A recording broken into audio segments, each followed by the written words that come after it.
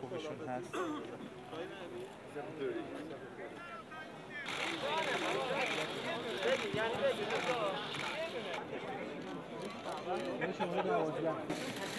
بچه ها بشینید بچه های عکاس اینجا Imamo najbolje navijače na svijetu. بهترین هوادار دنیا رو داریم ما Pokazali su puno slučajeva.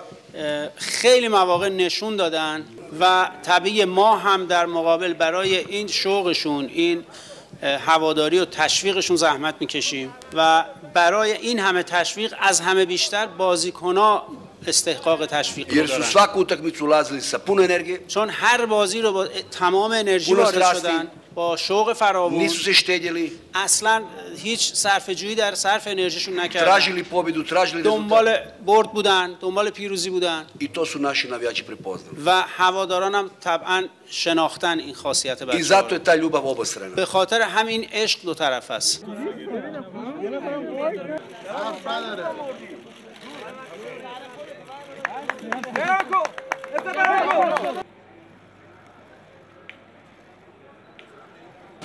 بچه هم احساس خیلی خوبی دارن. یعنی باید داشته باشن.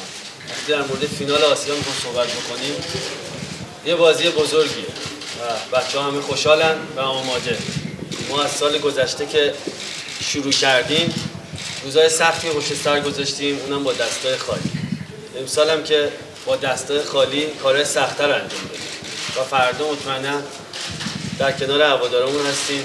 با یه تیم بازی داریم که من فکر کنم لحظه هاش خطرناکه. یعنی یه تیمی هستش. حتی کلا تیم ژاپن که بهترین آسیاست و باشگاهاش هم همه پیشرفت کردن و تو کلاس بالا بازی می‌کنن و بازی لحظه هاست هر لحظه امکان داره یه اتفاقی پیش بیاد. ولی آماده این میگم از هوادارمون می‌خوام که کنارمون باشن تا بتونیم لحظه ها رو ببریم.